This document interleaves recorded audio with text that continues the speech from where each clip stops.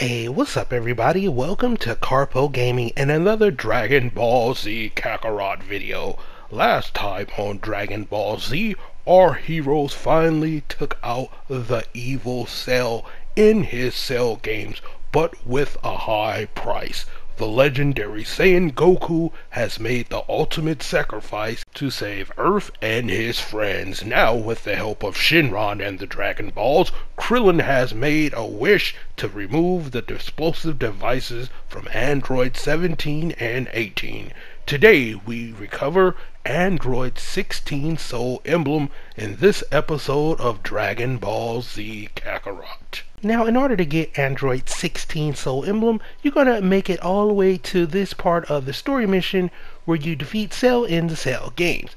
You will then be greeted with this lovely mission from Bulma where you're going to have to gather up the Memorites. Now, this is a story mission, so you won't have to worry about finding this mission or if you skip this mission. It's going to be pretty much sitting right in front of your face. Now, for the Memorite location, I'm going to show you where all three of these Memorites is so it can save you a little bit of a time when you are playing Dragon Ball Z Kakarot. Now, after you covered all three of the Memorites, you will then need to head back to the West City which is the location of the Capsule Corp. So head on over to the Capsule Corp, and then you will need to talk to Bulma again.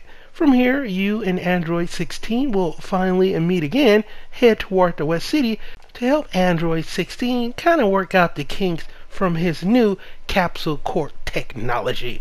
Now, after you take out the enemies surrounding this mission, you will then head back over to Bulma and with the help of Bulma Android 16 and her pops, you will be rewarded with the lovely Android 16 Soul Emblem. Now, the Android 16 Soul Emblem, it's pretty good and you should definitely definitely add this to your collection and stick it in where you feel it is the best served. So uh, there you have it ladies and gentlemen. This is how you're going to get android 16 soul emblem.